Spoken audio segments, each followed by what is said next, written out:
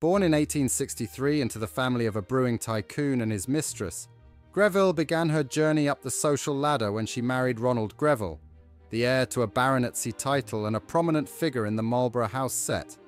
The elite social circle of the 19th century centred around Albert Edward, then the Prince of Wales, later King Edward VII by 1901.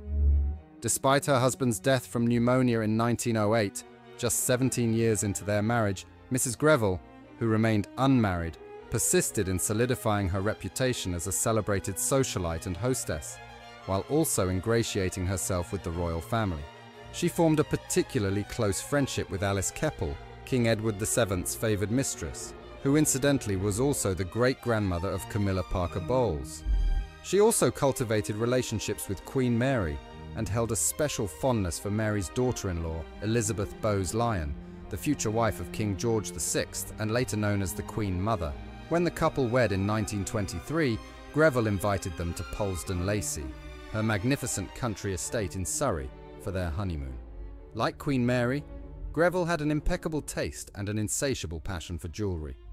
She had a preference for Boucheron and Cartier, and amassed precious gems during her travels around the world. While Mary favoured jewels from the Russian Empire, Greville seemed to lean towards French pieces. Reportedly, her jewel casket housed a necklace once owned by Marie Antoinette and another by Empress Josephine, Napoleon's first wife. As the Grevilles never had children, her entire collection was passed on to Elizabeth. Today I'll share with you the most renowned pieces from her collection, starting with the remarkable tiara known as the honeycomb. In 1901, Margaret Greville commissioned the esteemed jewelry house Boucheron to create a lavish tiara adorned with absinthe leaf motifs. The design was impeccably crafted, but after two decades, it fell out of fashion. In the 1920s, Margaret returned it to the jewelers, requesting a more contemporary design in line with the times. With no children or close relatives, Margaret Greville wished to preserve her jewelry collection. She left many items to close friends, while the most extravagant pieces were bequeathed to Queen Elizabeth, the Queen Mother. The honeycomb tiara underwent several alterations. The basic geometric design remained unchanged, but the adornments were made lighter. Marquise-shaped diamond finials were added. Upon her death, all the treasures were inherited by Queen Elizabeth II, yet she chose not to wear the Greville tiara, preferring more delicate pieces adorned with floral motifs. It was only decades later that it reappeared in public, adorning the head of the current Queen Camilla. Another exquisite piece from Greville's collection, now captivating Camilla, is the splendid Greville festoon necklace. Originally crafted by Cartier in 1929, the initial version of this masterpiece featured a double-stranded necklace, with the original festoon occupying much of the lower portion of the necklace seen today. However, Mrs. Greville, always seeking to elevate her jewels, returned to Cartier in 1938 to further enhance the piece. The jeweler added three additional rows of diamonds and reworked sections of the necklace's back chain. The resulting five-strand necklace was bequeathed to the Queen Mother, who occasionally adorned herself with all five rows at grand events. However, she often preferred to wear only the three-row segment for its more forgiving and wearable nature. While the entire necklace exudes grandeur, resembling a colossal diamond breastplate, the three-row segment offers a more versatile option. When the Queen Mother passed away in 2002, the necklace was inherited by Queen Elizabeth II, who never publicly wore it. Instead, it became one of the treasures she loaned to the current Queen Camilla. Among the treasures lovingly bestowed upon Queen Elizabeth by Margaret was a breathtaking necklace adorned with floral motifs crafted in 1907 by the skilled artisans of Boucheron. Made from silver and embellished with Burmese rubies and diamonds, this necklace held a special place in Margaret's collection. Interestingly, Margaret often updated her jewels to keep them fashionable and contemporary. Yet the ruby necklace remained unchanged.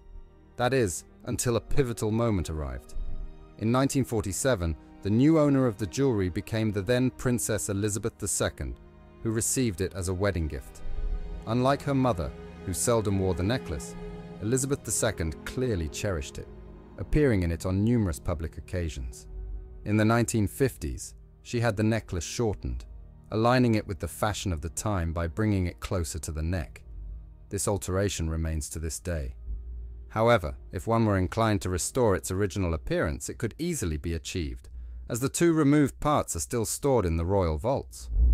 One could find numerous events and official photographs featuring Elizabeth II adorned in the ruby necklace.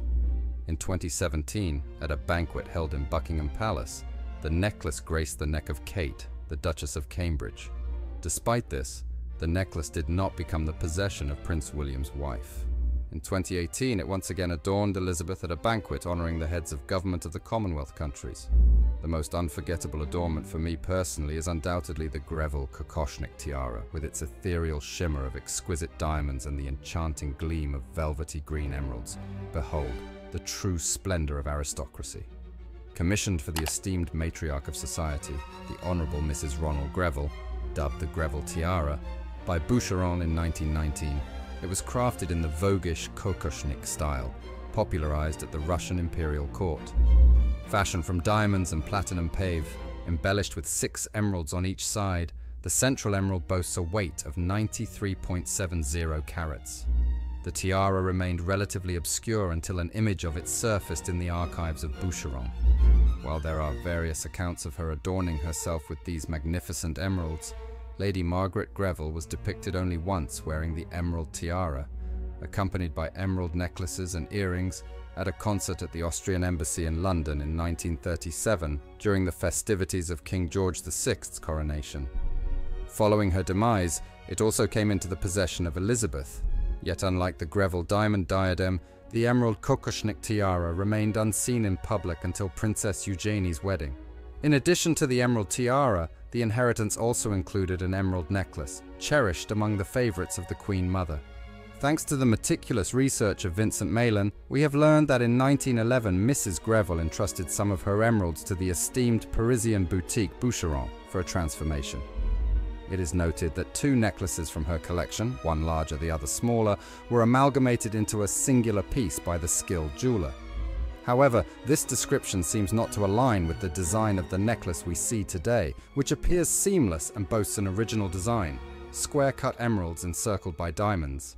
While the necklace certainly exudes a 19th century or earlier aesthetic, verifiable information about its origins remains scarce. Similar to many other jewels from the Greville inheritance, Elizabeth began wearing the emerald and diamond necklace after the conclusion of World War II, she continued to grace herself with emeralds throughout her extensive reign as Queen Mother. One of the Queen Mother's final appearances in the Greville Emerald necklace took place in December 1990, approximately 12 years prior to her passing.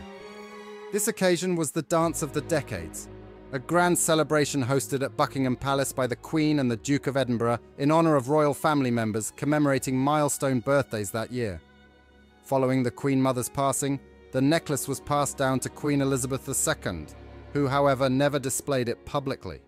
One brooch from the esteemed Greville collection truly captivated Queen Elizabeth II.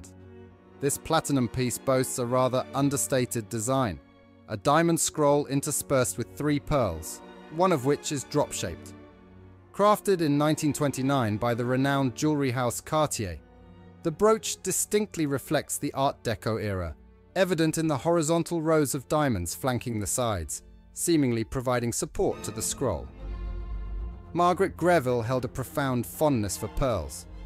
According to her contemporary Maggie Pam Burbage, she could engage in lengthy discussions about them and took genuine delight when her jewellery garnered praise in the press. Queen Mother Elizabeth shared similar sentiments, often gracing public appearances with the Greville brooch in the post-war years. Interestingly, the design of the brooch allows for versatility as it can be worn with the pearl drop facing either up or down. However, in all the photographs where either Elizabeth is captured wearing it, the drop is consistently positioned upwards. Perhaps they had a personal preference for this orientation, or there may exist a tradition unknown to us. The future destiny of the Greville brooch is indeed intriguing, whether it will adorn Camilla or Kate, or perhaps be cherished by the young Charlotte, only time will reveal its path.